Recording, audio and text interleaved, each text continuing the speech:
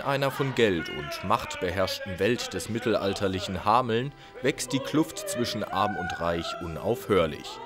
Zeitgleich breitet sich eine verheerende Rattenplage aus. Besteht hier ein Zusammenhang? Unter den wohlhabenden Herrschenden sind Bürgermeister Krülhott und seine Frau Athela, die ihre heranwachsende Tochter Magdalena in ein schreckliches Geheimnis einweihen. Magdalena ist schockiert, aber man zwingt sie zum Schweigen.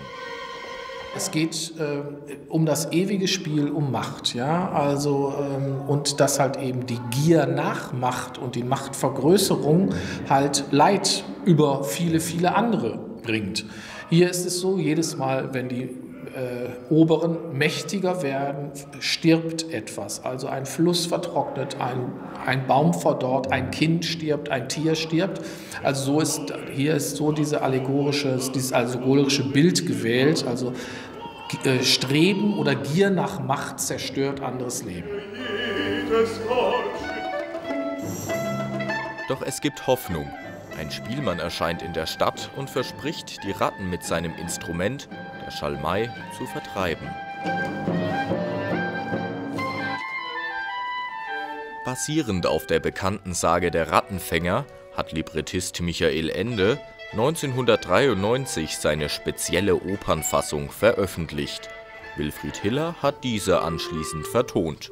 Entstanden ist ein allegorischer Tanz, eine Darstellung, bei der Menschen verschiedenen Standes mit dem Tod konfrontiert werden.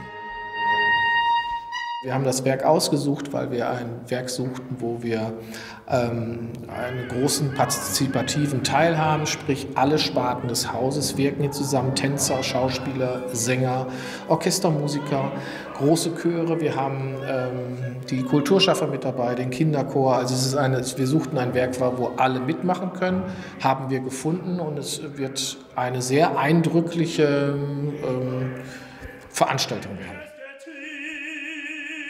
Das Werk passt mit seinen Themen und Botschaften auch zu aktuellen Ereignissen und Herausforderungen in der heutigen Welt. Wir brauchen ja nicht weit zu gehen. Es ist jetzt sehr tragisch oder hat ja einen sehr, sehr äh, traurigen Nebenbemerkung, dass die äh, Sage des Rattenfängers ursprünglich aus Bessarabien stammt und Bessarabien ist die Südukraine. Also wir sehen eigentlich dem, an dem Entstehungsort dieser Sage, was Macht und Machtstreben heutzutage macht. Und äh, man könnte eigentlich fast keine bessere Parabel sehen. Seien Sie dabei, wenn der Rattenfänger am Samstag, den 15. Juli, Premiere am Theater Pforzheim feiert.